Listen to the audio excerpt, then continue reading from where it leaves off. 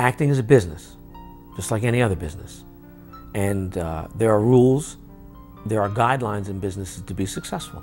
One of the guidelines in, of successful entrepreneurial businesses, which an actor is an entrepreneurial business, is you must have sufficient startup capital. That's the number one reason businesses fail, in case you don't know. Second, you must have low overhead so that you can sustain yourself in that business till you succeed. Well, there it is. You 30 days, I'm not gonna, I'm gonna run out of money if I don't get my job.